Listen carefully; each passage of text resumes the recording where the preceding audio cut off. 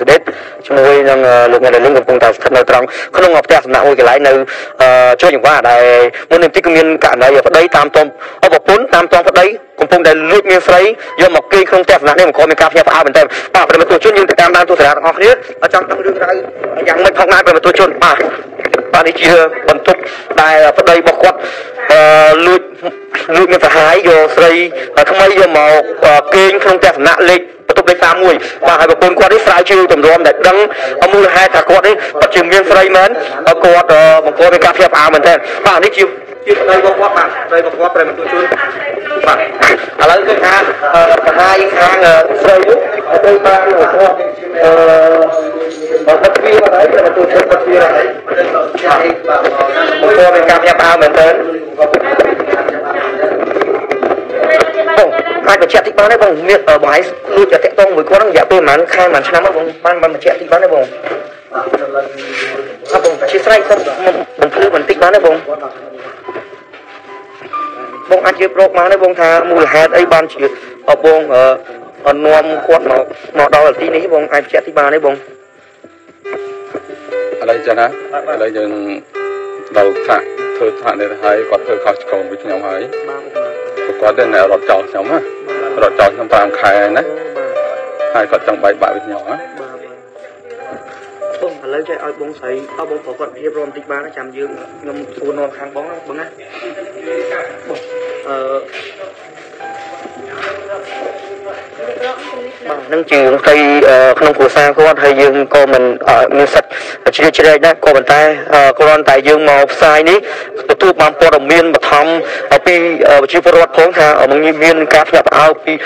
បងស្រីម្នាក់ដែលជាជនជាតិអ៊ីស្លាម បាទគាត់បានមកតាមទាន់ប្តីរបស់គាត់នៅទីតាំងកន្លែងនេះបង្គោលមានការភ្ញាក់ផ្អើលមែនទែនបាទប្រិមត្តជនហើយបងស្រីនេះគាត់តម្រាំតែដឹងថាមានប្តីគាត់នឹងលួចយកស្រីមកគេងក្នុងបន្ទប់ផ្ទះសំណាក់នេះកូន4នាក់អូកូន4នាក់អីដែរ4នាក់ចុះឥឡូវបងស្រីព្រៀបបន្តិចមកបងអឺបងឯងស្រឡាញ់គ្នាគាត់រយៈពេល1ឆ្នាំខ្ញុំការជាមួយគាត់ជិត20ឆ្នាំមកចូល18ឆ្នាំហើយគាត់ទៅលួចមានស្រីនឹង46ខែអូ ប៉ាន់រយៈពេលប្រហែលនេះគាត់ថាគាត់លែងមានស្រីនឹងហើយប៉ាន់ឥឡូវមកតាមដល់បន្ទប់អីអូពីមុនហ្នឹងបងដឹងថាគាត់ហ្នឹងមានគាត់មានហ្នឹងហើយគាត់មានសហាយជាមួយគេហ្នឹងឥឡូវខ្ញុំតាមដល់បន្ទប់គាត់ថាគាត់ថាគាត់លែងវិស្រីហ្នឹងឥឡូវគាត់យកមកដេកបន្ទប់នេះហ្នឹងហើយខ្ញុំនៅបៃប៉ែតខ្ញុំនៅបៃប៉ែតចាហើយគាត់ប្រាប់បងថាម៉េចបើគាត់អាចបើកឡើងពីខាតរហូតមកដល់នេះបងគាត់ប្រាប់ទេគាត់លាក់លែរហូតនឹងខ្ញុំតាមដានមកនឹងចឹងបាត់គាត់ឆ្លងហើយយើងបាទគាត់ថាគាត់ឡើងមានស្រីនឹងបាទ ឥឡូវគាត់តាងគាត់នេះស្រីគាត់នៅក្នុងបន្ទប់វិញចាស្រីគាត់នៅក្នុងបន្ទប់ខ្ញុំតាមដល់បន្ទប់នេះនៅនេះហើយចាខ្ញុំកូន4នាក់ចាប្រុស3ស្រីប្រុស3ស្រី1ចាគាត់ទៅរៀនតាមណាបងប្រពន្ធចំហែចំបានខែខ្ញុំតាមដាននេះយូរហើយប៉ុន្តែមិនបាច់ ឃើញកន្លែងហ្នឹងប្រាំទៅកន្លែងហ្នឹងហើយមកមកដែរបងបើដឹងថាគាត់ចូលទស្សនាហ្នឹងបងទៅមិនដឹងល្ងាចហ្នឹងទេចូលល្ងាចហ្នឹងបងចាប្រវត្តិជនអូមកសិង្ហវិញគាត់ចូលល្ងាច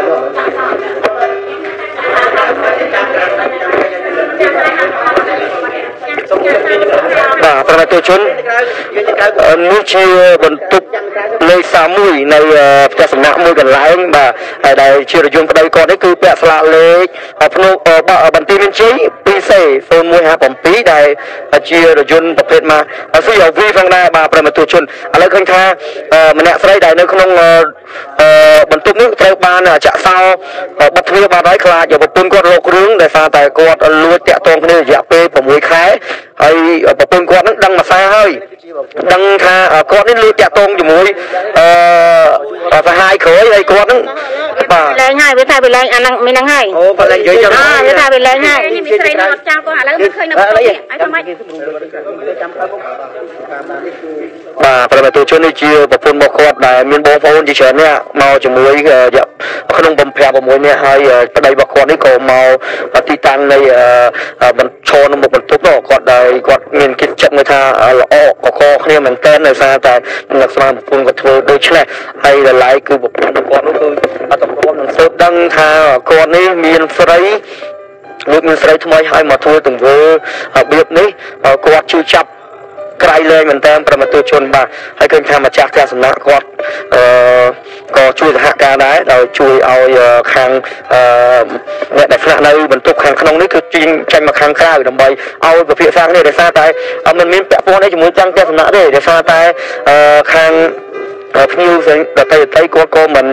ជាអ្នកមានរឿងក្នុងនឹងដែរក៏ប៉ុន្តែគាត់សុំកុំឲ្យមានការផ្អើលនៅភ្ញៀវដតីដតីផងដែរប្រមទជនស្រីយុខែបានដែរស្រីអាយុ33 33ចាជម្រាបគាត់តាក់ទងគ្នាទៅតាំងពីថ្ងៃខែណាទេបងបងគាត់ទៅលាក់លៀមគ្នាហ្នឹងថ្ងៃទី20 29ខែខែ7 2000ចា2020 2020ហ្នឹងបងចាចុងវាយជា បានអាលាក់លៀមពីមុនមកហ្នឹង2ឆ្នាំហើយ2ឆ្នាំហើយបងបងចាបងមិនមែនតែមិនអ្នកក្រោយហ្នឹងដែរអ្នកអ្នកស្រីថ្មីប្រហែលជាមួយនេះទេបងបងគាត់តាមតនហ្នឹងតាមតនតែម្នាក់ហ្នឹងតែម្នាក់ហ្នឹងណាចាបងតនពីមុនមុនមកបាច់និយាយទេអាហ្នឹងរឿងផ្សេងនេះរឿងតាមតបងនប្តីបងក៏មកកយទេបងបងគាត់ជាងថ្មិញជាងថ្មីចាហើយពីដើមឡើយមួយឯងដែរមានអត់វាថារស់នៅចុះម្ដងគ្នាបាទពីមុនមកក៏រឿងរ៉ាវចេះតែមាននៅក្នុងគ្រួសារចេះតែមាននៅប៉ាន់តិចតួចទៅប៉ុន្តែរឿងសារនេះគាត់ ទៅធ្វើខ្លាំងតែអញ្ចឹងទៅតាមតំណើទៅបាទចាខ្ញុំនៅសម្រួលមួយគាត់6ខែបានគាត់នៅតែប្តឺខ្ញុំណាបាទគាត់ថាមានស្រីនៅរត់ចោលគាត់បាទគាត់គាត់ទាំងប្តឹងខ្ញុំទៀតដឹងថាខ្ញុំនេះចោតគាត់តេតេតេមានស្រីនៅរត់ចោលហើយខ្ញុំខ្ញុំព្រមចូលផ្ទះទៀតបាទចាអត់អីទេឥឡូវឃើញហើយ បាទបងអាបច្ចៈឈ្មោះប្តីបងទីបានឈ្មោះគាត់ម៉ូតសុក្រីម៉ូសុគ្រីម៉ូតសុក្រីម៉ូសុគ្រីម៉ូសុគ្រីបងបានណាបងគាត់ធ្វើអីគាត់ជាងថ្មិញម៉ូតសុក្រីអាយុប្រហែលជាប៉ុន្មានបងអាយុ33អ่ะ43ឆ្នាំតែទៅ3នេះកូនរងថ្ងៃគួរនេះអត់បងកូនប្រុស3ស្រី1 3តែ1បងឥឡូវចង់ឲ្យចង់ឲ្យបលិកធ្វើតាមនីតិវិធីឬមួយក៏បងសម្រួលគ្នាក្នុងបែបអាគងគ្រួសារបងបងដែរ ទៅទៅក្រៅឲ្យប៉ូលីសគេធ្វើមកធ្វើទៅខ្ញុំឲ្យបលិកចាត់ការតាមនីតិវិធីបងណាបងណាប្រមទជននេះជាការបញ្ជាក់របស់បងស្រីដែលជាជនក្នុងគ្រោះបានប្រាប់ថាមុនពេលដែលកើតហេតុគឺគាត់តាមទាន់ប្តីគាត់រយៈពេល2ឆ្នាំមកនេះអឺគាត់ដឹងថាប្តីរបស់គាត់នឹងគឺមានស្រីហើយហើយគាត់ឲ្យសម្រួលគ្នាហ្នឹងអឺឲ្យកុំឲ្យមានការតាក់ទងគ្នាទៀតគាត់នឹងព្រមរស់នៅជាមួយនឹងរួមរស់ជាមួយគ្នាតទៀតចាប់ដៃគ្នាតទៅតទៅមុខទៀតផងដែរគាត់ប៉ុន្តែរយៈពេល 2ខែដល់3ខែក្រោយនេះគាត់នៅតែមិនព្រមអឺធ្វើតាមសម្ដីរបស់ប្រពន្ធគាត់ក៏គាត់នេះលួចតាក់ទងអឺហើយសហាយដែលគាត់នាំមកគេងនៅក្នុងបន្ទប់លេខ31នេះហើយគាត់នេះតម្រុំទៅតាមដឹកតាមតនប្តីគាត់ដឹងមកពីខេត្ត ឆ្ងាយឯណោះប្រវត្តិជនតម្រាំជីវឡានមកដល់ស្មាននេះហើយឃើញភ្លាមគាត់ឡើងចង់គ្រុះគ្ដួលមានអារម្មណ៍មួយថាចង់អឺនិយាយអត់ចាញ់តែម្ដងដោយសារតែប្តីរបស់គាត់ស្រួបអោតនឹងទ្រូងបែរជាទៅនៅជាមួយនឹងស្រីថ្មីដែលដែលមិនស្គាល់ប្រវត្តិច្បាស់ដែលមិនស្គាល់ពីអឺអឺរូបគាត់ច្បាស់ហើយហេតុតែគាត់នេះគឺមកមកមកគេជាមួយប្រវត្តិជននេះជាការអឺមួយទៅគឺអនិរហ្វូខាងប្រពន្ធគាត់ដែរដែលគាត់ ដឹងតែប្តីមានស្រីហើយព្រមរួមរស់ជាមួយព្រមអឺផ្ដល់ឱកាសឲ្យប្តីនឹកឃើញថារៀបការជាមួយគ្នាស្រឡាញ់គ្នាចង់ចាប់ដៃតទៅមុខជាមួយគ្នាហើយហេតុអីបានជាគាត់នៅតែមិនព្រមអឺធ្វើអឺតាមថាកែខ្លួនព្រមផ្ដាច់ជាមួយនឹងស្រីក្រោយនេះដើម្បីឲ្យមានការ រួមរស់ជាមួយនឹងប្រពន្ធរបស់គាត់ចាជាប្រពន្ធដើមការស្របច្បាប់នេះផងដែរប្រវត្តិជនបាទអរគុណណាស់ឥឡូវប្រវត្តិជនឃើញហើយថាទីតាំងនេះកំពុងមានការផ្ញើប៉ាពីបងប្អូនប្រជាពលរដ្ឋនិងនិងបងប្អូនរបស់ជនក្នុងគ្រូជាច្រើនអ្នកដែលគាត់ធ្វើការមកចូលរួមតាមដានជាមួយដោយសារតែមិនស្មានថាគាត់តាមតនមិញគាត់គ្រោះធ្វើបន្ទប់ទៅឃើញមែនឃើញច្បាស់មែនប្រវត្តិជនបាទឃើញមែនឃើញមែនឃើញថាគាត់ អឺពិតជានៅក្នុងនឹងហើយមិញបរោះដែលជាប្តីគាត់នោះគឺត្រូវបានបើកទ្វារបើកទ្វារចេញមកខាងក្រៅហើយនឹងក៏បានសាហាយនឹងក៏ត្រូវបានបិទទ្វារចាក់កលឹះចូលខាងក្នុងបាត់ហើយមិនមាននៅទៀតទេប្រវត្តិជននៅខាងផ្ទះសំណាក់គាត់ក៏ចង់ឲ្យខាងអ្នកដែលនៅខាងក្នុងនេះគាត់ចេញមកខាងក្រៅផងដែរដើម្បីឲ្យសម្របរួមគ្នាប្តីប្រពន្ធគាត់ផងដែរ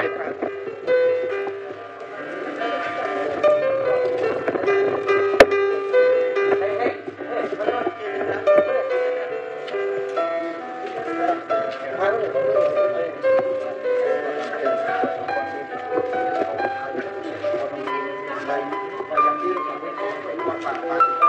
ក៏ប្រកបដោយតែ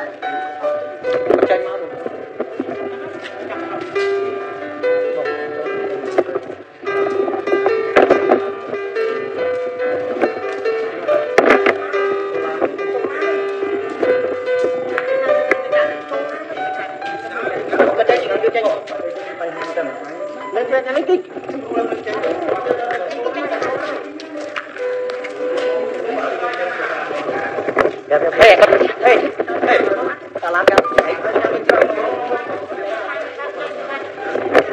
ប្រិមត្តជនលើកឃើញថាបរិវត្តដែលជាប្តីត្រូវបានបើករថយន្តចេញហើយយើងក៏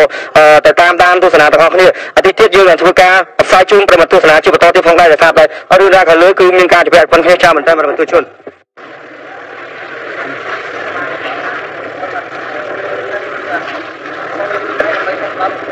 បាទនេះជារថយន្តប្តីរបស់គាត់បាទប្រិមត្តជនបានចាញ់ហើយ បាទអឺអ្នកស្រីក៏នៅខាងក្នុងដែរ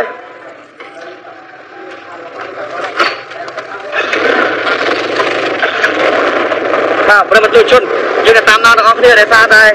អ្នកស្រីនៅខាងក្នុងរថយន្តហើយជាកាហាយនេះត្រូវបានចាញ់ហើយប្រពន្ធមកគាត់នេះត្រូវបានហាមឃាត់ប៉ុណ្ណឹងគាត់នៅតែតាមទៀតប្រិមត្តជន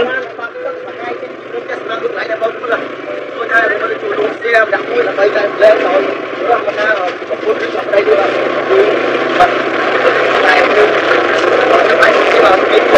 ចេញទៅចេញចាំទៅទៅបាទបាទប្រមាទជននេះកាក់ជាប់ហើយមុខទាំងមុខទាំងក្រោយបាទទាំងមុខទាំងក្រោយគឺជាប់ហើយដោយសារតែនោះអឺអានេះមនុស្សស្រីថ្មីដែលគាត់នាំមកគេងជាមួយនោះនៅក្នុងរថយន្តនៅនោះប្រមាទជនខ្លួនមុខចិត្តអស់ហើយបាទប្រពន្ធរបស់គាត់នេះពូស្វាបាទតម្រាំនឹងបានចាញ់នេះបាទអឺ ប្រមាទជនឃើញហើយគឺអឺប្រពន្ធរបស់គាត់តាមតនប្តីមានសុខាយបង្កប់មានការផ្ញើផ្អើលហើយយ៉ាងខ្លាំងពីបងប្អូនជាពលរដ្ឋហើយនេះសិតតែបងប្អូនគាត់ទាំងអស់នេះមកជួយរកជួយកាក់រថយន្តមកគាត់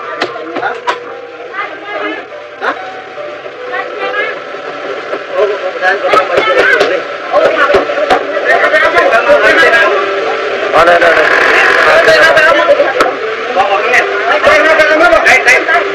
អរនេះហើយយើងហើយមកឡើយ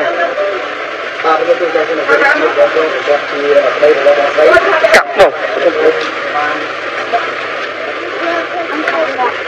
បាទប្រមាទជននេះជាបងប្អូនដែលជាប្តីរបស់គាត់នេះជាប្តីរបស់គាត់នោះជាសហាយនៅខាងក្នុងបាទឃ្លុំឃ្លុំចិត្តអស់ហើយបាទបាទបាទនេះជាសាររបស់គាត់ដែលយើងបានទៅណានេះបាទខ្ញុំណៃសម្បត្តិពី năm hai វាវាបាទនេះជាប្តីរបស់គាត់មកតាមតនហើយ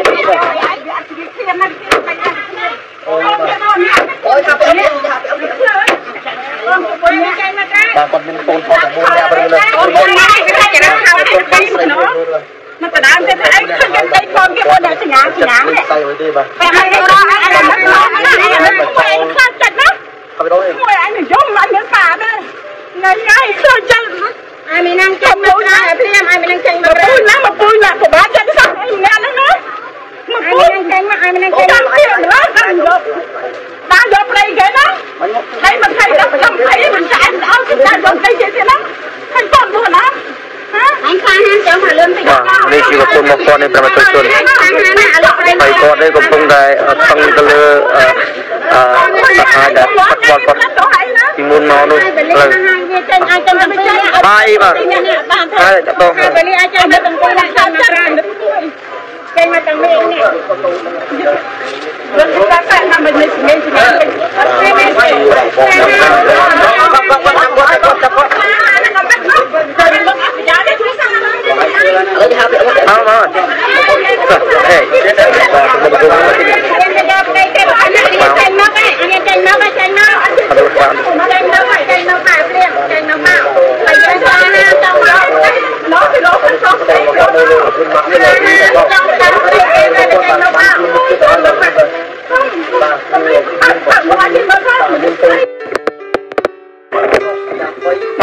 ជនដោយសារតែក្រុមការងារយើងមានការបញ្ញាពេកក្នុងការអធិប្បាយនិងផ្ដាច់យកព័ត៌មានករណី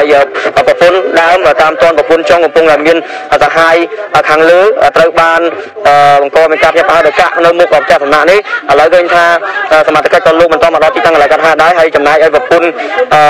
ដើម នៅឈរពីមុខឡានហើយចំណាយឲ្យសហាយគឺនៅក្នុងរថយន្តជាមួយនឹងប្តីរបស់គាត់ផងដែរហើយយើងទុកគណៈវេលានេះឲ្យសមត្ថកិច្ចជំនាញប្រព័ន្ធរដ្ឋបាលនគរបាលជួយអង្បាលលោកមកជួយអន្តរាគមន៍និងធ្វើការខាត់ទៅលើពីពីទាំងសងខាងជាទាំងប្រពន្ធដើមទាំងប្តីរបស់គាត់យកទៅធ្វើការដោះស្រាយគ្នានៅរដ្ឋបាលនគរបាលជួយច្បាប់ផងដែរអរគុណណាស់សម្រាប់ការតាមដានការ live ភេទស្មៃអង្គនេះតនហេតុការ20ម៉ោងគាត់ ពីពេកកំហុសគាត់ឆ្លងទៅចំណុចណាមិនតាមកាន់បរិទិទៅផងអភ័យទោសផងដោយសារតែឥឡូវឃើញថាប្រពន្ធរបស់គាត់វាយកំតិចកញ្ចក់ប្រមាណសាហើយក៏គាត់ព្រមចោះទេប្រមាណទុជនហើយកណានេះអឺខ្ញុំបានសាន់ស៊ីដេតនិងលោកង៉េដេលីនសូមជាចុងបញ្ចប់សូមជួយចុច Subscribe និងរូបកណ្ដឹងដើម្បីទទួលបាននៅព័ត៌មានថ្មីៗសូមអរគុណនិងសូមជម្រាបលា